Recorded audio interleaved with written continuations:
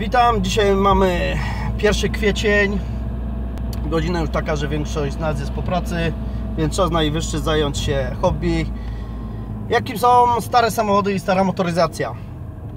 Dzisiaj jedziemy w zachodnio-pomorskie, więc na drugi koniec Polski po bardzo piękny egzemplarz samochodu marki BMW z pierwszego, z pierwszych, z pierwszych roczników generalnie.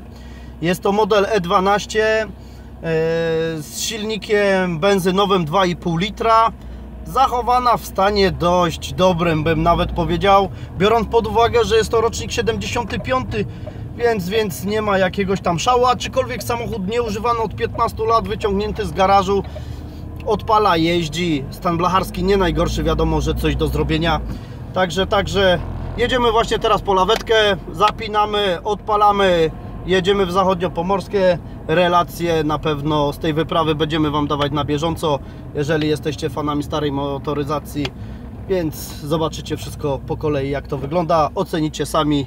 Do zobaczenia, do następnego, hej!